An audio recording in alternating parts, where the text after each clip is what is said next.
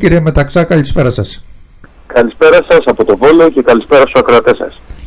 Γιατί να προτιμήσουμε Κομμουνιστικό Κόμμα Ελλάδος; Κοιτάξτε, νομίζω ότι τα προηγούμενα χρόνια έχει κυλήσει αρκετό νερό στο αυλάκι με αποτέλεσμα πλέον να είναι η πείρα όλου του κόσμου ε, να έχει μετουσιωθεί και σε μια δυνατότητα να αποτελέσει αυτή η πείρα μια πολιτική στάση και στις επερχόμενες εκλογές.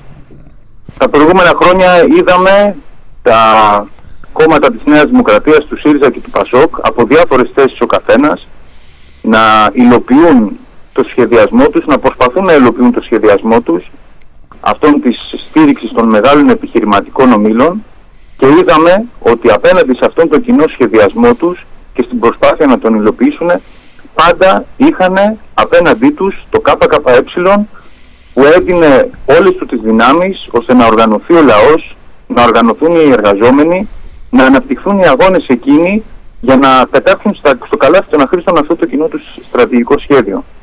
Και επειδή μιλάμε για αρκετά χρόνια που η αντιλαϊκή πολιτική αυτών των κομμάτων έχει συσσωρευτεί και αρχίσει να σκάει με εγκληματικό τρόπο σε διάφορες πτυχές της καθημερινότητας του, της λαϊκής οικογένειας, όπως ήταν τα τέμπη, όπως τα πρόσφατα περιστατικά ε, στο σύστημα υγείας με τα ασθενοφόρα, ε, θεωρούμε από το ΚΚΕ ότι ε, τα επόμενα χρόνια, ιδιαίτερα για τους νεότερους ανθρώπους, είναι ζήτημα ζωής το να επιλέξουν να πάνε κόντρα σε αυτή την πολιτική και να ενισχύσουν το ΚΚΕ ώστε να καταφέρουμε να, να τη φρενάρουμε και να καταφέρουμε να διεκδικήσουμε πάνω στις ανάγκες του λαού και όχι στα συμφέροντα των μεγάλων ομίλων.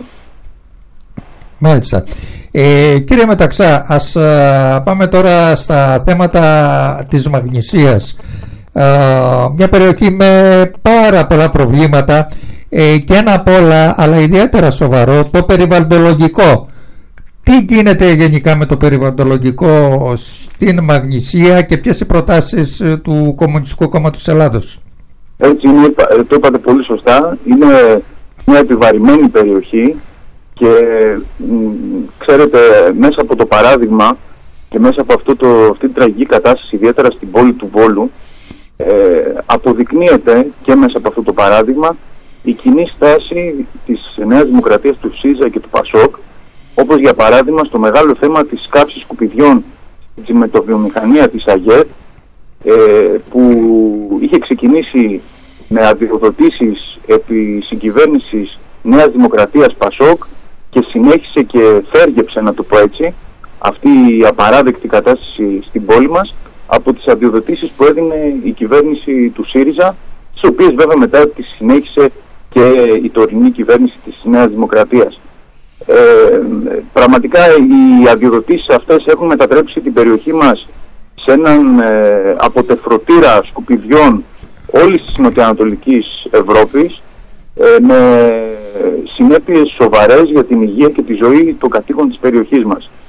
Ε, όλα αυτά στα πλαίσια της στρατηγικής της πράσινης ανάπτυξης, ε, στα πλαίσια της προσπάθειας αυτών των κομμάτων και μέσα από τα σκουπίδια που μάλιστα δεν τα ονοματίζανε και η ΜΕΝ και η ΔΕ. Θυμάμαι χαρακτηριστικά τον κύριο Φάμελο, ε, τότε υπουργό του ΣΥΡΙΖΑ, που τα, ονόμαζε, τα ονομάτιζε εναλλακτικά κάψιμα για να χρυσώνει το χάπι ε, για το λαό του Βόλου.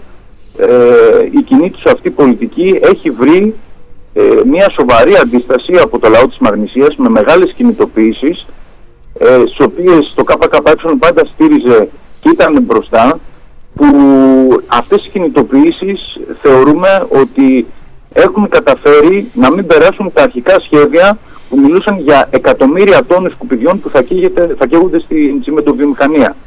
Ε, ωστόσο ο αγώνας συνεχίζεται, γι' αυτό και θεωρούμε ότι και σε αυτές τις εκλογές η διατήρηση της έδρας του ΚΚΕ στη Μαγνησία θα συμβάλλει ώστε να ακουστεί η φωνή αυτών των αγώνων ακόμα πιο δυνατά σε αυτή τη Βουλή και το, το επόμενο διάστημα να αναπτυχθούν ακόμα μεγαλύτεροι αγώνες για να καταφέρουμε να σταματήσουμε αυτό το έγκλημα. Μάλιστα.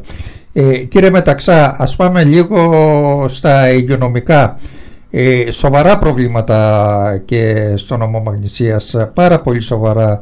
Σοβαρά. Υποστελεχωμένα νοσοκομεία, ε, έλλειψη τεχνικού εξοπλισμού, υπάρχουν, ε, υπάρχει τεχνικός εξοπλισμός, ε, δεν υπάρχουν ειδικευμένοι χειριστές αυτού. Ένας φαύλος κύκλος από πού να αρχίσουμε και πού να τελειώσουμε. Το Κομμουνιστικό Κόμμα Ελλάδος τι έχει να προτείνει πάνω σε αυτά; Έτσι είναι όπως το λέτε. Είναι χαρακτηριστικό ότι πριν από λίγες μέρες ήμουν στη Σκόπελο και είχα συζήτηση με τους γιατρούς και τους ειδικευόμενους γιατρούς εκεί πέρα στο κέντρο υγείας ενώ υπάρχει ε, υπάρχουν τα μηχανήματα, δεν υπάρχει ε, άνθρωπος, δεν υπάρχει εργαζόμενος για να μπορέσει να χειριστεί το ακτινοδιαγνωστικό τμήμα με αποτέλεσμα ακόμα και για μια απλή ακτινογραφία χτύπα ξύλο μπορεί να χτυπήσει ένα παιδί ή κάτι οτιδήποτε μπορεί να συμβεί ιδιαίτερα τώρα που έχει ξεκινήσει η σεζόν να μην μπορούν να κάνουν μια απλή ακτινογραφία στο, στο κέντρο υγείας του Σκοπέλου. Η τραγική κατάσταση που ζήσαμε, η εγκληματική αυτό το έγκλημα που έγινε τις τελευταίες μέρες εμείς το έχουμε ζήσει ε, και τις, τις προηγούμενες μήνες εδώ. Ε, τραυματίες να μεταφέρονται σε καρότσες αγροτικών γιατί δεν υπάρχει ασθενοφόρο. Κοιτάξτε το από πού να το ξεκινήσουμε πού να το πιάσουμε Σωστά. Ε, είναι, είναι, κοιτάξτε, είναι, είναι, έχουν υπογραφές αυτά που συμβαίνουν. Έχουν τις υπογραφές των κυβερνήσεων της Νέας Δημοκρατίας, του ΣΥΡΙΖΑ και του ΠΑΣΟΚ άσχετα με τα όσα προσπαθούν να, να πούνε τώρα για να καλύψουν αυτές τις ευθύνες τους, τα ίδια λέγανε και στα τέμπια με θυμάστε, για ανθρώπινα λάθη, για αστοχίες αρμοδίων, ε, αλλά ακόμα και τώρα στο διατάφτα, στο ζήτημα που έχει προκύψει ιδιαίτερα τις τελευταίες μέρες, ε, δεν είναι τυχαίο ότι όλοι μαζί παρουσιάζουν ως μονόδρομο αλλά και τελικά και ως λύση τα, την ίδια πολιτική που έχει οδηγήσει σε αυτή την κατάσταση. Δηλαδή τη συμπράξη με τον ιδιωτικό τομέα, ε, την ένταση της εμπορευματοποίησης. Είναι χαρακτηριστικό ότι ο νόμος της Νέας Δημοκρατίας που δίνει τη δυνατότητα σε κάθε νοσοκομείο να δίνει σε ιδιώτες τις δευτερογενείς διακομιδές ήρθε σε συνέχεια με άλλες τροπολογίες του ΣΥΡΙΖΑ. Ή δεν είναι καθόλου τυχαίο και ξαναλέω ότι όλοι τους έχουν σοβαρές ευθύνες. Το 2016 λειτουργούσαν 60 από τα 140 οχήματα στην Αττική. Την περίοδο 2019-2022 έγιναν μόνο 46 προσλήψεις για 450 συνταξιοδοτήσεις στο ΕΚΑΒ. Μιλάμε δηλαδή για ένα χαρακτηριστικότατο παράδειγμα στο πώς τελικά αυτή η πολιτική, αυτός ο δρόμος αυτών των κομμάτων, η κοινή του στρατηγική οδηγεί στη, σε αυτό που ακούστηκε δυνατά και στα τέμπη της κινητοποίησης τα κέρδη τους από τη μια μεριά και οι ζωές μας, οι ζωές μας από την άλλη. Εσείς μετράτε κέρδη και ζημιές, εμείς μετράμε ανθρώπινες ζωές. Και αυτή η πολιτική λέμε ότι μπορεί και πρέπει να σταματήσει με τον οργανωμένο λαό, με πιο δυνατό το ΚΚΕ, διεκδικώντας τις πραγματικές, την, την κάλυψη των αναγκών που έχει ο λαός στο ζήτημα της υγείας και όχι μια χούφτα επιχειρηματικών ομίλων. Αυτό πιστεύουμε, γι' αυτό είπα και πριν, ότι πλέον η, συσσωρε, η συσσόρευση αυτών των μέτρων, αυτής της πολιτικής όλων των προηγούμενων χρόνων θα σκάει, θα έχουμε μικρά και μεγάλα τέμπη που θα σκάνε το επόμενο διάστημα, κάνει ακόμα πιο επιτακτικό και σε αυτές τις εκλογές να βγουν αποδυναμωμένα αυτά τα κόμματα και η δική τους η κοινή στρατηγική, να μην πέσει στην παγίδα ο λαός το ποιος θα είναι κυβέρνηση, ποιος θα είναι αντιπολίτευση, ο καθένας θα παίξει το ρόλο του σε αυτή την κοινή τους προσπάθεια. Σημασία έχει να ανέβει ακόμα περισσότερο, να σηκώσει κεφάλι ο λαός, να πιστέψει στη δύναμή του και αυτό μπορεί να του προσφέρει ένα πιο δυνατό ΚΚΕ. Μάλιστα. Κύριε Μεταξά, ευχόμαστε από καρδιάς ε, για μεγαλύτερη δύναμη σε επερχόμενες εκλογές ε, του Κομμουνιστικού Κόμματος της Ελλάδος γιατί το λέω συνεχώς δεν είναι το όποιο κόμμα είναι το κόμμα που έχει δώσει τα απίστευτα σε αυτή τη χώρα. Είναι το κόμμα που στους αγώνες που έχει δώσει μπορούμε τώρα εγώ και εσείς να μιλάμε στην ουσία. Ε, λοιπόν.